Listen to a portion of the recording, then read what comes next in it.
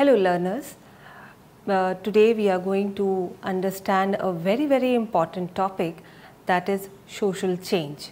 In this session we are going to understand about uh, what is what do we mean by social change and what are the factors that affect the social change.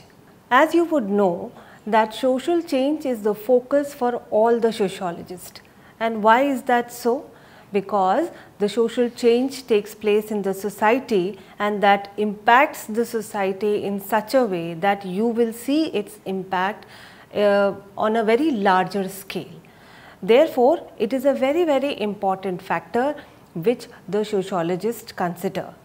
Another one thing which is uh, important when we talk about social change is that that this uh, social change is so complex at the same time uh, it is so important for each one of us to understand therefore it becomes all the more necessary to understand how and why social change takes place.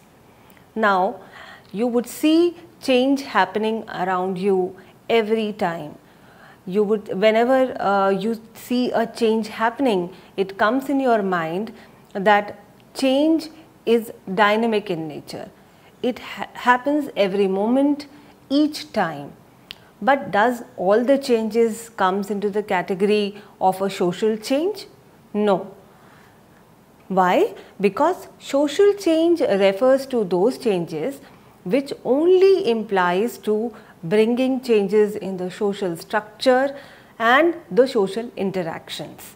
Let us now look into various definitions which have been given by various sociologists. As said by Davis that social change is nothing but change in the structure and function of the society.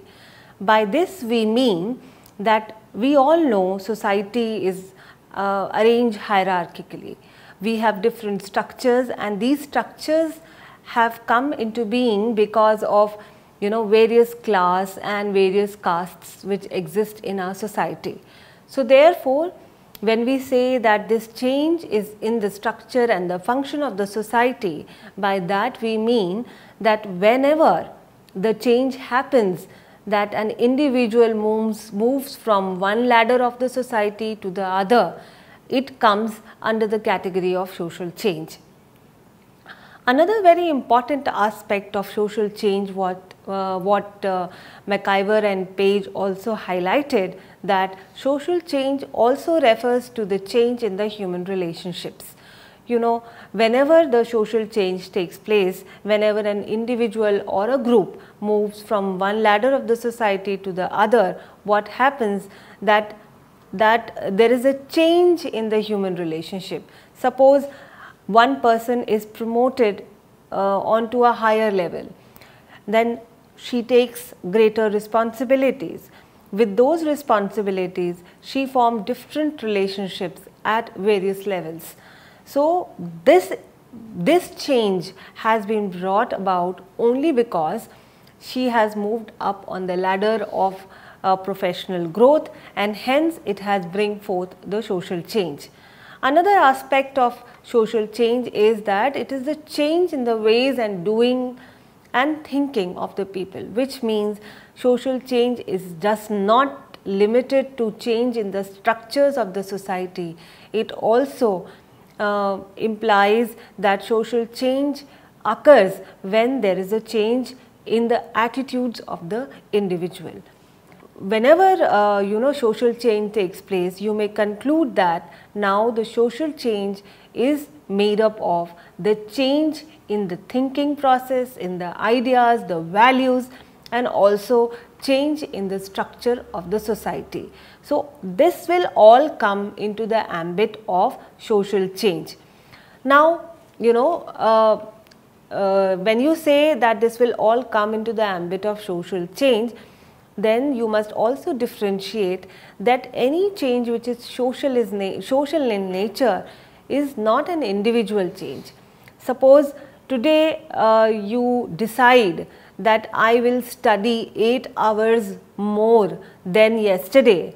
This is an individual change which is brought which is to be brought in by yourself, this will not have an impact on the society.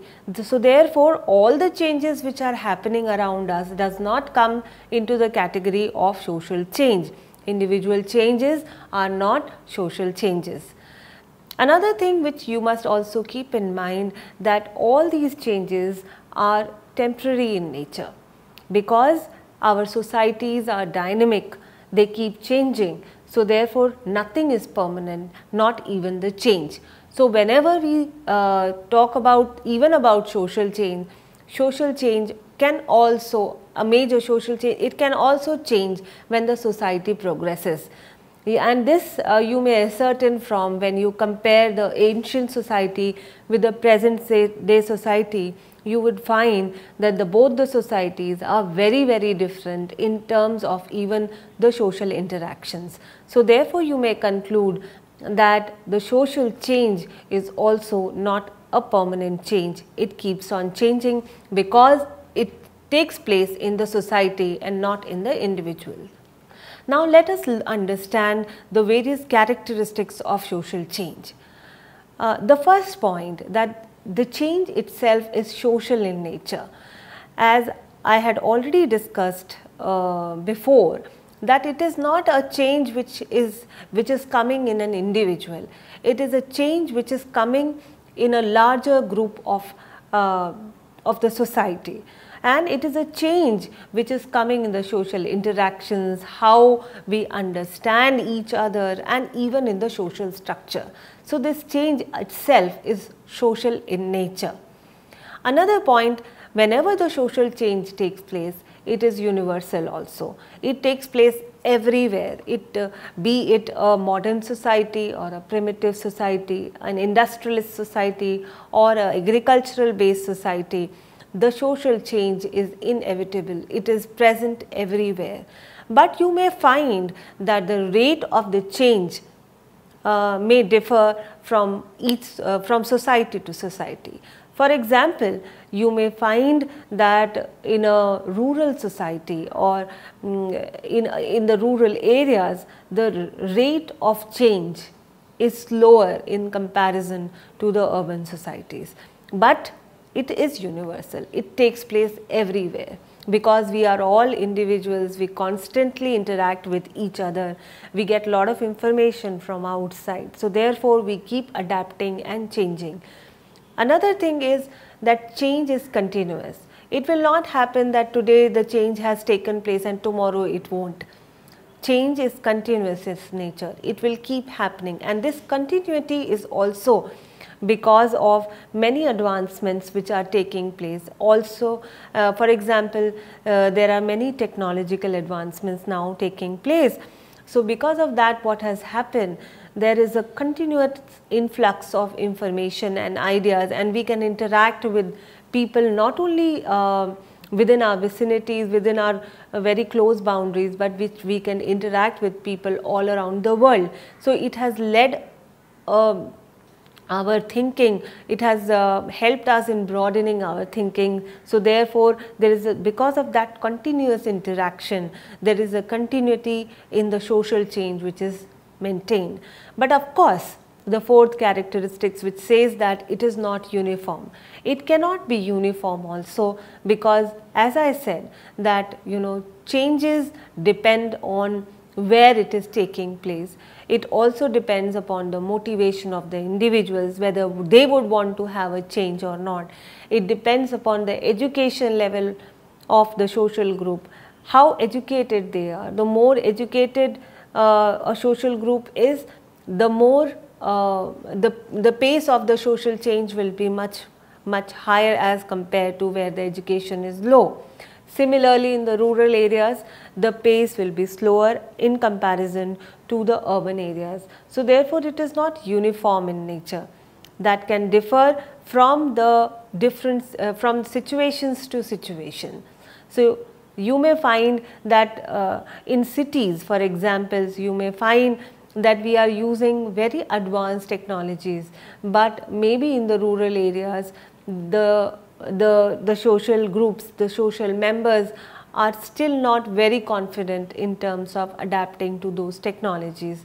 So, whatever changes which is going to happen is slower in the rural areas as compared to the urban areas. Another thing is that we cannot predict the change. It is very uncertain. When I say when it, uh, it is very uncertain, it, it is because there is no uniform law of social change. If we say that okay, if uh, this intensity of wind will come, this much will be the impact of um, that particular calamity on the individual. You cannot, that, that is too uncertain. It is also because each of the social group have a different level of understanding. How, uh, say for example, when the tsunami came, tsunami when it came, it not only ruined the, uh, the, you know, the, uh, what do you say, the Mm, it doesn't it, it didn't even uh, ruin the professions and uh, the agricultural land but it also ruined the psychological aspects of the learners uh, of the individuals. So therefore it is important that we must understand that this social change is will not be you cannot uh, ascertain that this will be the impact of social change on a particular group and also a different group of individual may react to a social change in a very very different way. And very important is this that whenever we see a social change, it cannot be the result of only one factor. For example, now when you see more women into the workforce, right? So, you cannot say that education is only the one factor, now they are only getting education therefore, they are coming into uh, the workforce. That is one of the factor. The other factor is that women are now more aware of their rights.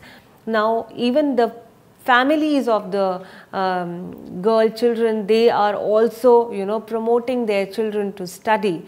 So, therefore, the, the, the change the, which we see it is not only the result of only one factor. It is a there are multiple factors which interplay to bring about one social change. So you can say that that whenever you would find you would see a social change it does not come uh, in a month. It will take some time but it is for sure that these changes will keep on happening because of the continuous nature of the social change. Now, let us now examine one more important aspect of the social change that from where does this social change originates from. As you could see, there could be two sources. One is exogenous sources and endogenous sources. When you say exogenous sources, they are those sources which come from outside of the society, they are not present within the society. So, they are basically external factors and endogenous uh, sources are those sources which are actually present within the society, within that particular social group. Now, let me take an example to explain. For example, exogenous factors all the calamities, all the physical calamities which come, they come as a exogenous factors because they are not present within that particular social group. So, they will impact to a particular uh, social group from outside and there will be a long term impact on that. Similarly, if you talk about endogenous uh, you know factors, they will be the factors which are within the society. For example, uh, if uh, more number of schools are opened opened in the rural areas it will provide more access to education to all. Hence the uh, girl education would increase. So this increase in the number of uh, girl children going to school and hence bringing in the change in the society it is endogenous change so, therefore, uh, the changes can be both exogenous as well as endogenous. Now, let us understand the various factors that impact the social change. The one important, the first and foremost important factor which impact the social change is the demographic factor. when you talk about demographic factors, though the, this demographic is made up of two words, one is demo plus graphic, which means demo means people, graphic means line. So, which means these are the factors which are associated with the people of that particular social group. Now, when you talk about demography of a particular social group, it will include both the qualitative as well as the quantitative aspect of that particular social group. The quantitative aspect will indicate the, you know, what are the thinking process, the genetic make by makeup, what are their physical capabilities. So, they are all, uh, you know, these qualitative uh, component of the demographic factors. It basically uh, comprises of all the genetic factors which a society uh, takes from their own previous generation. So, actually uh, you do not have much role to play because we cannot uh, change the genetics of a particular social group. But of course, some environment can be provided from external environment can be provided which can improve the social uh, thinking of the social group. Now, when you talk about in the terms of the quantitative aspect of the demographic group, that talks about in terms of number. So, when a social group, when a particular social group is more in number, how it impacts the social change, right. So, this particular aspect is known as the demographic factor and this is how it will impact and bring about changes in the society. Now, the one another important aspect is the technological aspect. See, the technological aspect uh, we all live in a society now which is uh, continuously growing in terms of improving in terms of uh, technology. If you um, go back 10 years back then you would find that uh, you never had such smartphones in our hands as we have it now. Now this technological change, this technological advancement also impacts the, the social change. How? For example, now because of more technology, number of uh, modern technologies, now we have access to online learning, now we have access, more access to education. So, there is more participation of the social group in education and you would know that education is a main uh, is a main agent to bring about a social change. So when this technological uh, um, technology changes, the access to education comes, that impact that automatically improves the uh, the social interactions of the individuals and even how it, it also improves the social structure. For example, when people will become more educated, then people from the lower strata of the society will you know will be uh, moved to the upper strata of the society. So, that will bring in a lot of change in the social structure. So, this is one aspect. Another aspect when you talk about change in the technology and how it brings in social change is also uh, technology is just not the means for getting education technology is also uh, the means for providing a lot of uh, liberation. How? We have access to when technology uh, you know provides a lot of access to information. Because of that there are so many misconceptions, there are so many uh, you know um, ill factors which are prevailing in the society they can be improved upon. We can understand what is wrong, we can make a better perspective about what is correct and what is incorrect. So therefore technology does play an important role in terms of bringing the social change.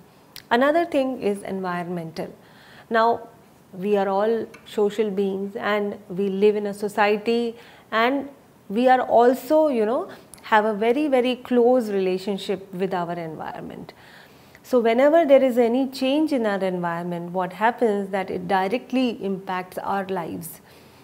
For example, if we get, you know, a tsunami or a heavy rainfall or a flood or a famine, what happens? Ultimately, it changes the lifestyle of the individual.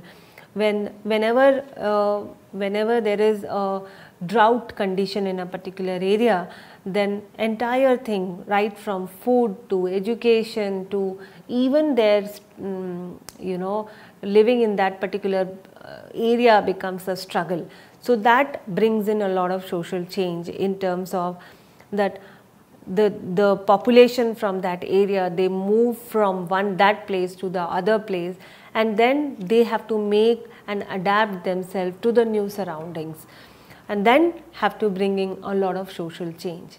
So, that is also one aspect. Another important and the last aspect is the psychological factor. When individual move from one place to another or when suppose when a person even in the organizational setup if, if a person gets uh, and go from one position to another the person has to adapt and adopt both to, to the demands of that particular area. And he, uh, and uh, that individual also has to forego many things which Um, she has learnt it from her family. So, there is a continuous adjustment. So, therefore, these psychological factors also impacts the ways of social changes take place. Now, let us understand one thing that as teachers, we are the important agents in bringing about social change because as teacher not only can we act as a role model for whatever change we want to see, we can also increase the consciousness about the other cultures. Now, when this consciousness about other cultures increases, what happens? There is more acceptability and there when there is more acceptability, there is more adaptability so, adaptation to social change becomes much more easier. So, therefore, it is important that we increase that consciousness and also since social change is associated with the change in the attitudes. So, it is it is important that whenever the change is about to be brought in either due to the technological change or due to the environmental factor then we must accept that change with a positive attitudes and develop positive skills to sail through that particular social change. So, as a teacher, it is our role, it is our duty that we develop these positive attitudes amongst our learners. So, with this I think you we have uh, now completed uh, our understanding about what social change is and how social changes takes place and what are the various factors which impact social change. So, with this I thank you very much.